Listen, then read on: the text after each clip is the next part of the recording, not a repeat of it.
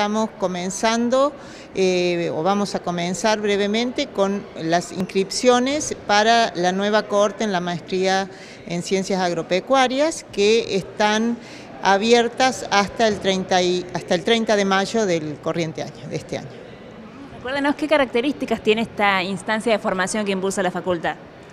Sí, eh, bueno, esta maestría eh, está aprobada por CONEAU, tiene categoría B eh, y tiene dos tramos, su plan de estudio, su estructura curricular. Tiene un tramo en el cual se deben tomar materias de carácter obligatorio y después hay un ciclo optativo. En el segundo ciclo, donde se optan por distintos tipos de asignaturas que las elige el alumno, en función de sus gustos y en función de eh, su tema de tesis, eh, comprende cuatro menciones. Estas son economía y desarrollo rural, eh, producción vegetal, manejo de tierras y gestión ambiental, que cada alumno debe decidir hacia dónde orienta su formación.